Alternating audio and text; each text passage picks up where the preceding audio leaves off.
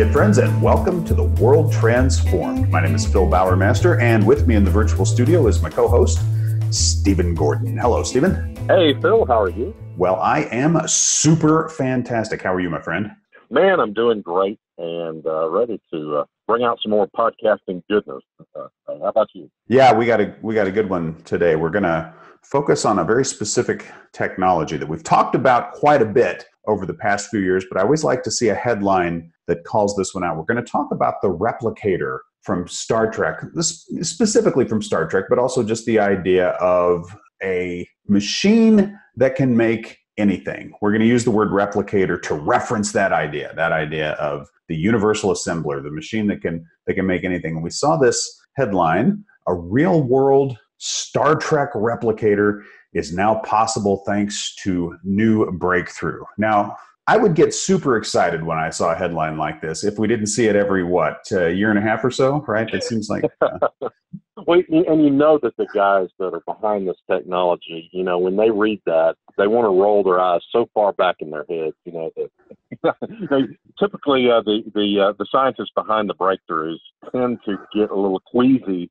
with the reporting of their breakthroughs when it, when with, with things like that. But it, I, I can see why the reporter put it that way, though, because this is pretty pretty great stuff here. This is pretty impressive. I think it's there's a there's a continuum. There's an evolution that we're tracking of technologies from very basic 3D printing through nanotechnology to eventually having something that would be a universal assembler. Eventually, it would be the. I think my comment on this story in on Facebook was okay. It's not quite tea Earl Grey hot yet, right? We're not really there yet, uh, which is which is what the Captain Picard always said to the replicator in Star Trek, and he could just you know magically have his cup of tea, and the cup and the tea would would magically appear. How close is this to that? Well, according to the story, a startup with alumni from MIT and Yale say it's made a breakthrough in creating a next generation material that should make it possible to 3D print literally anything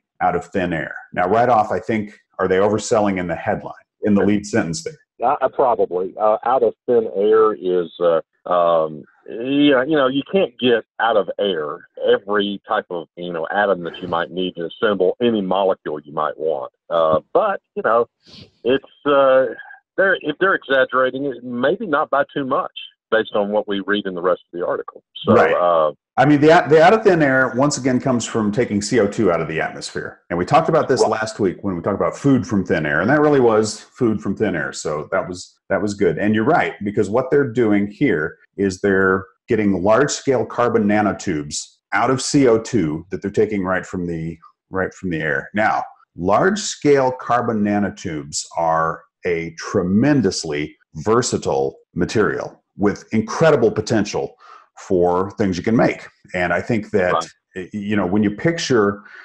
a typical 3D printer from the last few years, or even maybe a cutting edge one from today, what you have in your mind is a machine that is making some very sophisticated layers of plastic, right? and it's able to, you know, shape some really interesting, really interesting objects. This is well beyond that. This is well beyond that because these are these are structures that not only can you make just about anything out of. So so start thinking in terms of objects that would be made of metal or that would be made of the kinds of composite materials that you could make furniture or your car or your home out of or something like that. So you really do open up this whole new world of capability in terms of what you make. Also, and they're talking here about we'll be able to produce zero carbon uh, carbon zero gasoline diesel and jet fuels that are cheaper than fossil fuels. So they're they're really talking about expanding what we think of the capability of a 3d printer being. I mean it really is a it really is a whole new world there. It's still not make anything. Uh, you know i don't think you can you can make food right? You can't make a cup of tea out of it. And it's it's still what you can do with carbon. But it turns out you can do an awful lot with carbon doesn't it? Yes you can and the reason it's carbon zero um, for our audience, Phil, is uh, because if you're pulling the carbon out of the atmosphere, yeah, the, the gasoline that it makes releases just as much carbon as the gasoline that you presently have in your gas tank. But since you got the carbon out of the atmosphere to begin with, you're just putting it back in the atmosphere. And so you are net zero, right?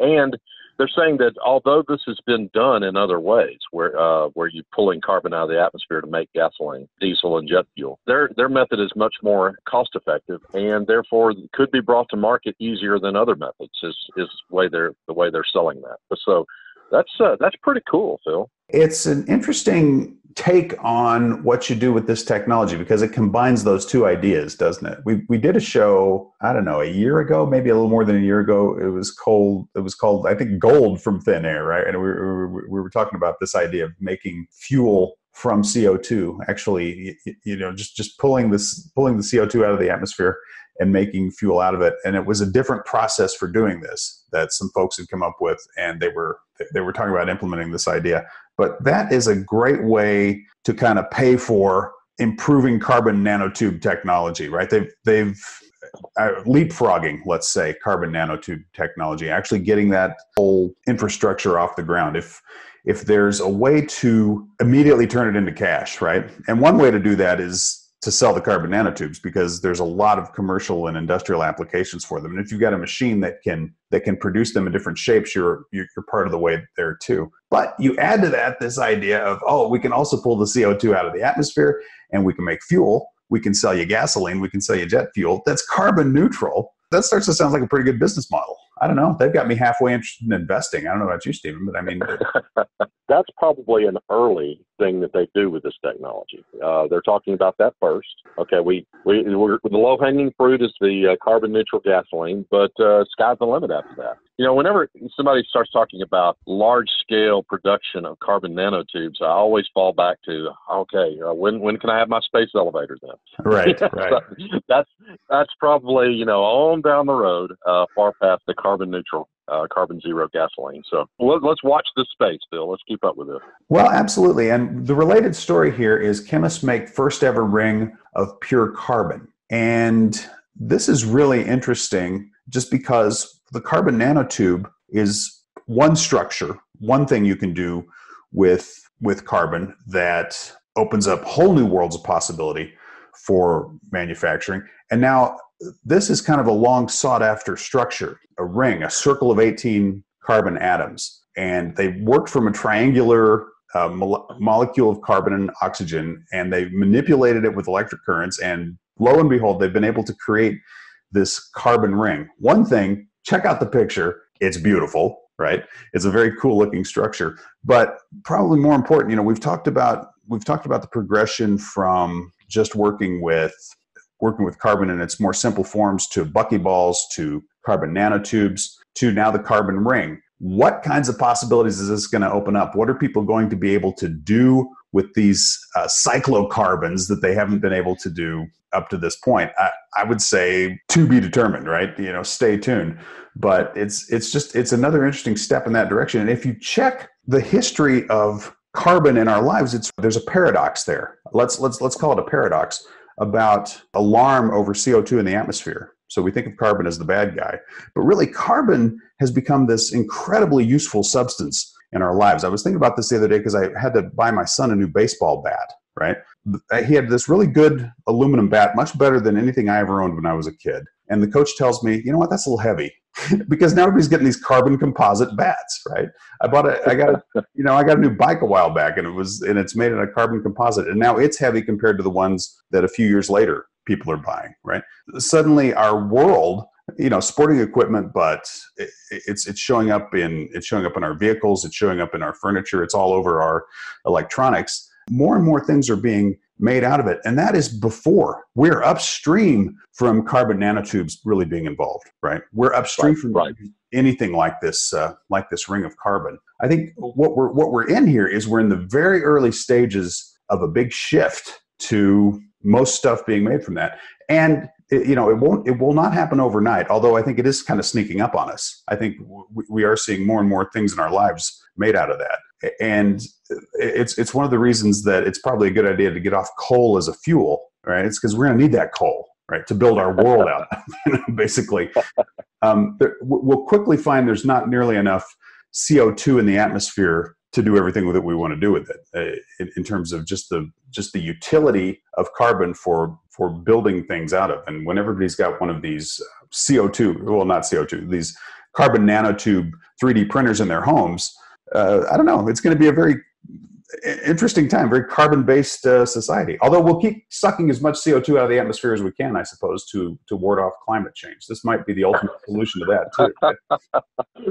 we, we, we 20th century people, uh, Phil, can just you know kick back and tell them you're welcome for the carbon in the atmosphere. That's right. We did, we did what we could to make it easy to get the ball rolling on this thing.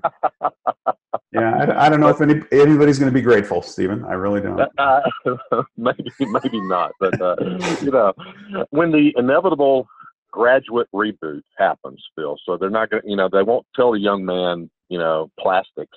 They'll say carbon manipulation. You know, That's your, right. Your, your future, your future is manipulating carbon in one way or another. So. That's right. right now, right now it would be. I got one word for you, son nanotubes, right? In a couple years, one word for you, son, cyclocarbon, or one one word for you, young lady, cyclocarbon, right?